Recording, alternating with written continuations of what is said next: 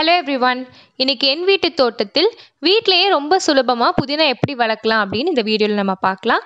இது ரொம்ப ஈஸி தாங்க. நம்ம சின்ன சின்ன டிப்ஸ் கரெக்டாக ஃபாலோ பண்ணோனாலே நம்ம வீட்டுக்கு தேவையான புதினாக்கள் நம்மளே வளர்த்துக்க முடியும்.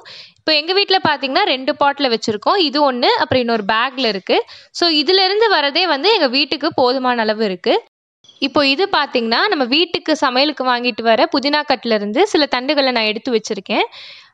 ஒவ்வொரு தண்டும் பார்த்தீங்கன்னா நல்லா கனமாக இருக்கணும். தடியான தண்டுகளாக நம்ம பார்த்து செலக்ட் பண்ணி எடுத்துக்கணும். நான் ஒரு அஞ்சு தான் எடுத்திருக்கேன். இப்போ ஒரு பாட்டில் வைக்கிறீங்க அப்படின்னா அஞ்சு போதுமானது.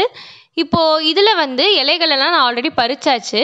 அதுக்குள்ளேருந்து சின்ன சின்ன இலைகள் இருக்கும். அதை பறிக்க வேணாம். பெரிய இலைகள் மட்டும் நம்ம சமையலுக்கு பறிச்சுட்டு இந்த இலைகள்லாம் விட்டுறலாம்.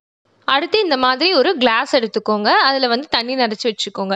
இப்போ இந்த தண்டுகளை வந்து நம்ம இந்த தண்ணியில் போட்டு வைக்க போகிறோம் இப்போ இது எவ்வளோ தூரம் தண்ணி இருக்கணும் அப்படின்னா இப்போ இந்த தண்டில் பாதி அளவுக்கு அது தண்ணியில் நனையணும். முழுசாக நினைக்கிற மாதிரி நம்ம வச்சிட்டோம் அப்படின்னா தண்டு வந்து அழுகிடும். அதனால அந்த தண்டில் பாதி மட்டும் தண்ணியில் நனையணும். இதை வந்து ஏழு நாள் நம்ம இப்படியே வச்சுருக்கணும். எங்கே வைக்கணும் அப்படின்னு பார்த்தீங்கன்னா ரொம்ப உச்சி வெயிலில் கொண்டு போய் வைக்கக்கூடாது. சூரிய வெளிச்சம் படணும். அந்த அளவுக்கு இருந்தால் போதும். நான் வந்து என்னோட கிச்சன் விண்டோ கிட்ட வச்சுருப்பேன். இது வந்து ரெண்டு நாளைக்கு ஒருக்க தண்ணி மாற்றி வச்சுருக்கணும். இப்போ பார்த்தீங்கன்னா இது நான் ஏழு நாளுக்கு முன்னாடி வச்சுருந்தது. இதில் வந்து வேர் விட ஆரம்பிச்சிருச்சு. உங்களுக்கு பார்த்தா தெரியும். நம்ம வைக்கிறதுக்கும் இப்போ பார்த்தீங்கன்னா புதுசாக வந்து வெள்ளையாக வேர் விட்டு இருக்கும்.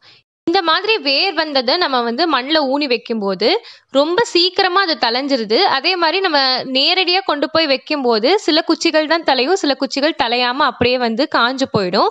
ஆனால் நம்ம இந்த மாதிரி வேர் விட்டு அதை கொண்டு போய் வைக்கும் போது நம்ம எத்தனை குச்சி வைக்கிறோமோ அத்தனையிலையுமே தலைஞ்சு வந்துடுது இப்போ ஒரு சின்ன பாட் எடுத்திங்கன்னா ஒரு அஞ்சு கொண்டு போய் வச்சாலே அது ஒரு மாதத்தில் வந்து ஃபுல்லாக அந்த பாட் நிறச்சி உங்களுக்கு தலைஞ்சு வந்துடும் நான் இந்த புதினா செடி எல்லாமே வந்து வெறும் செம்மண்ணில் மட்டும்தான் வச்சுருக்கேன். பெருசாக இதுக்குன்னு தனியாக மண் கலவை அப்படின்னு எதுவுமே செஞ்சதில்லை.